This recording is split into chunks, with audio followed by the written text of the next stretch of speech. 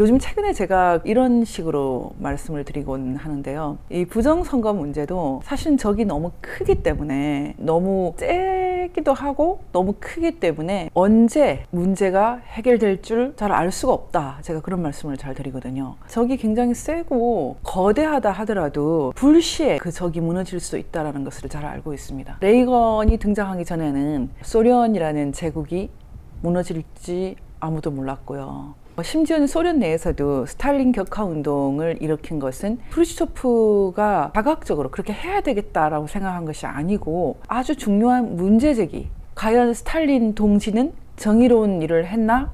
이런 질문을 던진 것이 어, 역사를 변화시켰고요. 고르바초프도 마찬가지입니다. 지금 일어나고 있는 여러 가지 일들, 거대한 어떤 역사적인 대격변 같은 것들이 아주 작아 보이는 질문들로 인해서 급격하게 단시간에 일어날 수도 있다는 것.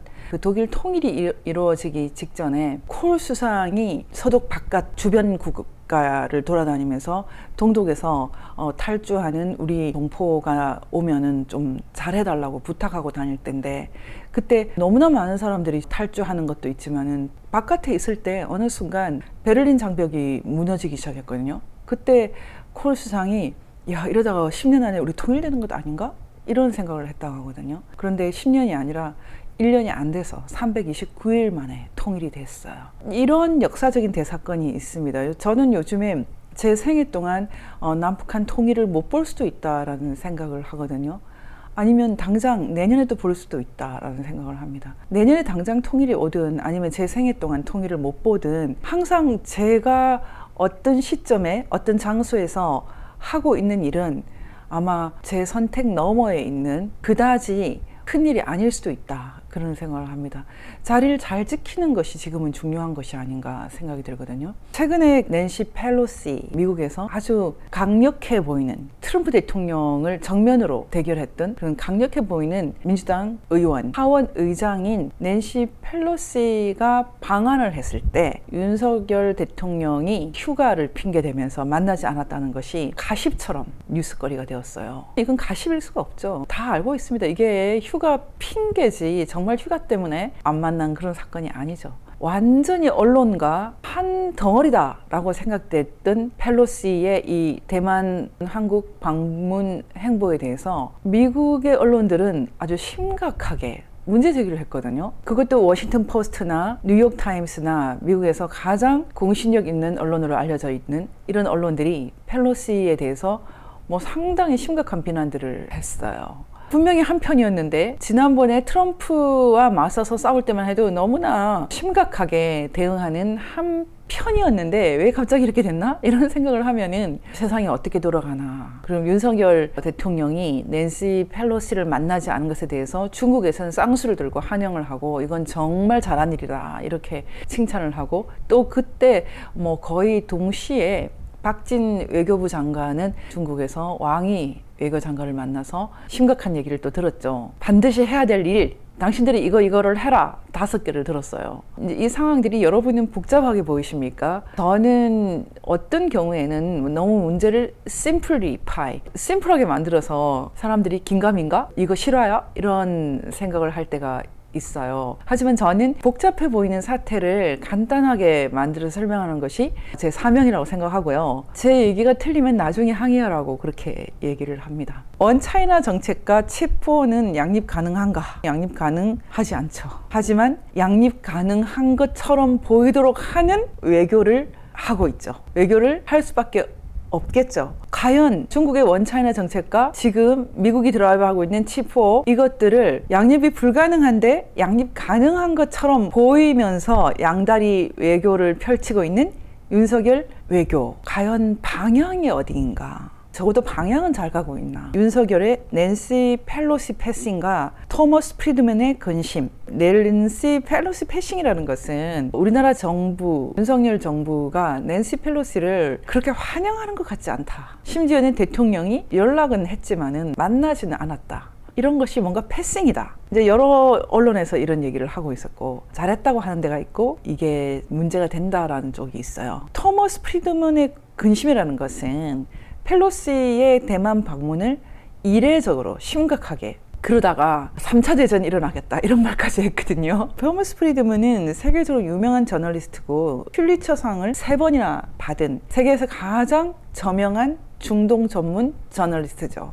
저는 이분의 이 책을 꼼꼼하게 읽었어요. 렉서스 올리브 나무 세계는 평평하다를 읽으면서 제일 먼저 들었던 생각이 아, 이 사람은 유대인이 아닌가라는 생각이었거든요. 유대인적인 관점이라는 생각을 그때 했었어요. 그때는 구체적으로 제가 왜 그렇게 생각했는지 설명을 할 정도는 아니었는데 최근에는 조금 더 분명하게 인식하게 됐어요. 토머스 프리드먼이 최근에 낸시 펠로시의 그 대만 방문에 대해서 노골적으로 뉴욕 타임스에서 비판을 했는데요. 이 분에 대해서는 아는 사람은 굉장히 잘 알 거예요. 저희 세인트 폴 고전 인문학교가 모델로 삼았던 세인트 잔스 대학이라고 대학 4년 동안 100권의 고전만 읽는 대학에서도 이 사람의 렉서스 올리브 나무를 교재를 택할 정도로 아주 현대적인 고전으로 유명합니다. 근데 이 렉서스 올리브 나무에서 여러분 다 아실 것 같은데 가장 중요한 이론이 골든 아치 이론이거든요. M자 아치.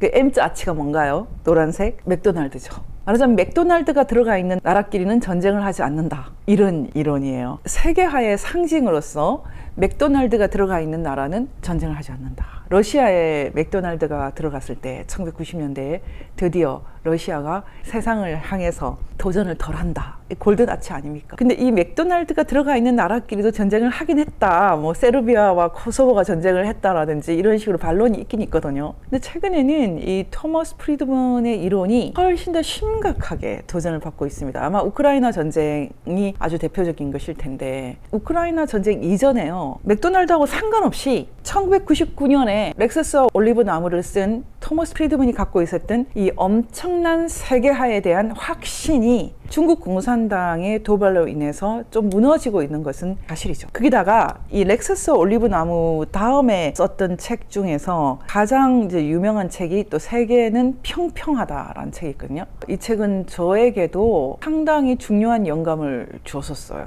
그리고 저는 이 토머스 프리드먼을 통해서 저 역시도 세계화에 대해서 상당히 긍정적인 낙관적인 전망을 갖고 있었던 것은 사실이에요. 근데 여러분들이 이 토머스 프리드먼의 이 렉서스 올리브 나무나 세계는 평평하다 이 책을 읽었는지 모르겠는데 저는 좀 읽어보는 것은 권합니다. 렉서스 올리브 나무는 맥도날드가 상징하는 미국이 주도하는 세계화, 자본과 금융의 세계화. 그리고 세계는 평평하다는 한 발 더 나아가서요. 세계화 3.0이라는 개념을 쓰거든요. 세계가 평평하다라는 의미를 이제는 지구가 인도 따로 미국 따로가 없다는 뜻입니다. 제일 앞부분에 이제 미국의 콜센터를 인도에서 운영한다. 미국 사람들이 전화를 하면은 콜센터는 인도에 있다. 뭐 이런 식의 설명으로 시작되는데 좀 들으면 아 정말 세계가 하나가 되는구나. 이 전 세계화 전 지구화 전 지구촌화라는 것은 너무나 우리와 가까이 와 있구나. 그리고 이 세계화 3.0이라는 것은 핵심적인 개념이 인터넷과 디지털 세계가 세계를 좀 더 개인화시키고 민주주의와 인권 시장 경제 이런 것들을 훨씬 더 각 개인에게 실감나게 전달되도록 한다. 한마디로 세계화와 민주주의에 대한 확신으로 가득 차 있다고 할 수 있습니다. 어, 우리가 늘 사실은 이런 생각에 젖어 있고 지금도 그렇죠. 그런데 이런 생각에 가장 크게 곧바로 도전을 시작한 것이 중국 공산당 시진핑입니다. 등소평이 한 10년씩만 하고 로테이션 해라.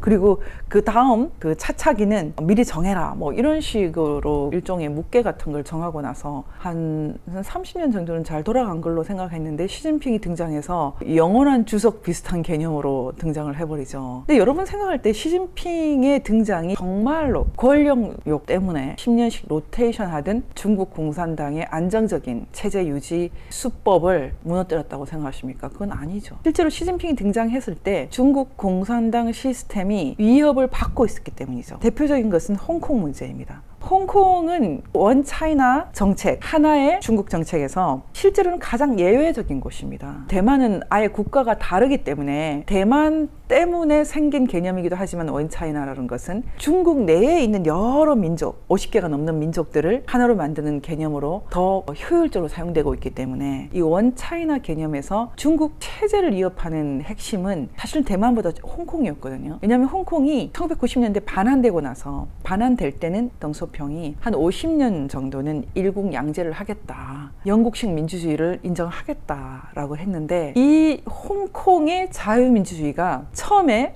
홍콩의 경제 발전, 개혁, 개방 이런 것들이 선전을 통해서 중국에 엄청나게 긍정적인 경제 발전 기능을 했지만 민주주의가 함께 들어오니까요. 이제 홍콩이 애물단지가 된 거죠. 그래서 50년이 가기 전에 딱 절반 정도 지나고 나서 일국 양제를 포기하기 시작하지 않습니까? 사실은 어떤 면에서는 시진핑이 더 이상 중국을 공산당 일당 독재로 강고하게 운영하기가 어렵게 됐기 때문에 덩샤오팽의 설계를 포기한 것이 아닌가.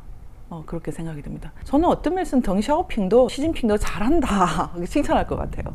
어떤 경우에도 중국 공산당을 지키는 것이 제1 이익입니다. 우리가 이 세계에서 일어나고 있는 많은 일들. 어제까지 동지였던 미국 언론과 낸시 펠로시가 갑자기 왜 적이 되지? 그리고 윤석열 대통령이 어떻게 낸시 펠로시를 안 만나지? 뭐 이런 것들 여러분 복잡하게 생각하실 텐데 적어도 VN 뉴스를 오랫동안 같이 보아 오신 분들은 이제 정자세를 하셔야 됩니다. 저는 늘 얘기하지만 저희와 함께 가는 사람들이 많을 것 같지 않아요. 지금 이 시대는 제가 묵시록적 시대라고 말하는데요. 그 묵시록적 시대라는 것은 어떤 혁명적인 또는 전쟁기적인 대전환기가 지나고 나면 상당히 이렇게 평화로운 시대가 지속이 되거든요. 이 평화로운 시대가 지속이 될 때는 전혀 읽히지 않는 것이 있는데 그 평화로운 시대가 또 정리가 되고 새로운 시대로 넘어가는 진정한 의미에서 전환기가 오면 사람들이 혼돈을 일으키죠. 근데 저는 지금이 진정한 의미에서 전환기다 이렇게 보는 겁니다. 중국 공산당과 미국 자본주의가 어깨를 나란히 아주 토닥토닥 하면서 그렇던 시대가 이제 끝나고 이제 중국 공산당도 뭔가 선택을 해야 되는 상황. 있다고 생각을 하는 거죠. 그런데 예전에는 중국 대 미국 이런 구도가 있었는데 이제는 그런 구도도 상당히 복잡해지고 있다. 예전에는 소련과 나토, KGB와 CIA, CIA와 MI6 같이 간다. 뭐 이런 식으로 생각을 했는데 지금 그런 게 하나도 없는 거죠. 참 놀라워요.